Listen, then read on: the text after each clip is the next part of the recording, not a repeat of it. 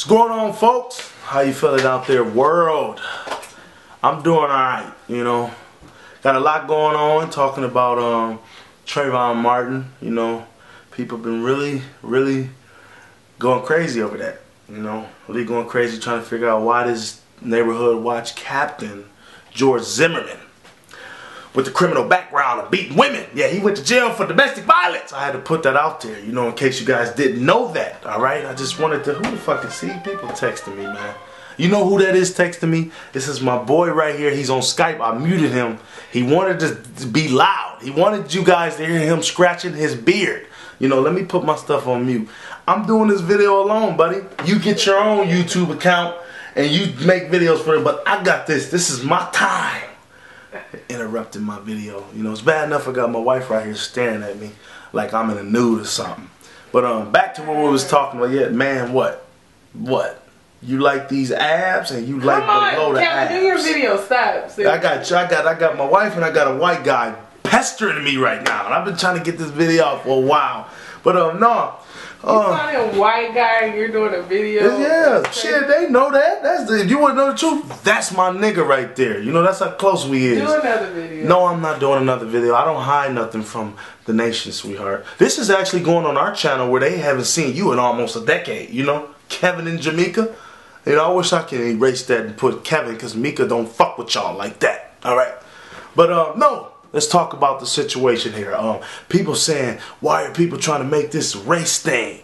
You know, why they saying it was a race issue? Well, I heard the 911 tape and I heard Mr. George Zimmerman, the guy with the record of beating women. Yes, you got to say that after you say his name because he was in jail for assaulting a female. You know, we want to talk about um, Trayvon Martin's past and paint the picture of him as a thug. You know what I'm saying? For the minor shit that he done in his life, which I don't think he deserved to die for. Let's paint the picture for George. He wasn't a model citizen.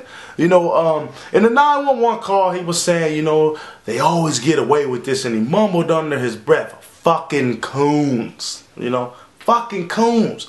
That's an old derogatory word that they used to say to you know black people back in the day. If you guys don't know what that mean, yeah, they called us coons and whatnot. So you know he had a chip on his shoulder. I'm starting to think George's wife must have caught some long black dick, you know, from a teenager, and that's probably why he was personally mad at black people with hoodies. He probably walked in while his wife getting buzzard banged with a dude with a hoodie on and took off running like, you know what, I'm killing the first motherfucker I see.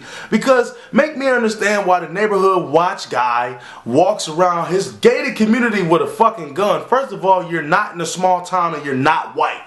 You know, typically you only see that in small towns. You know what I'm saying? They say it was legally. Yeah, that was a legal gun.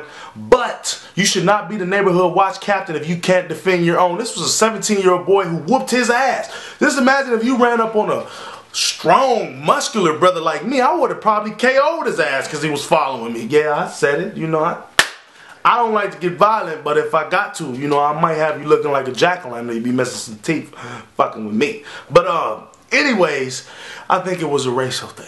You know, I really think it was, you know what I'm saying? Despite all the shit that I said um, about his wife getting buzzer bang, which I kind of really believe that probably happened or whatnot. But just that statement right there, fucking coons. You know what I'm saying? Like, seriously, man. You know, you want to offend somebody black, um, you're going to have to try something else instead of calling us coons, you know. Um, you're going to have to probably call us a bitch ass nigga. Not nigger, bitch ass nigga. Oh, you'll make a black person lose it. Lose it like a motherfucker. Make them lose it. But I'm about to get out of here.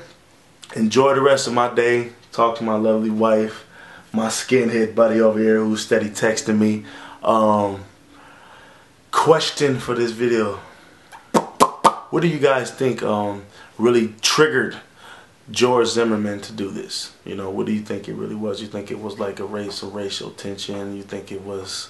Why are you doing this shit, man? I'm trying to... You know what, y'all? Just tell me what you think in the comment box. Deuces!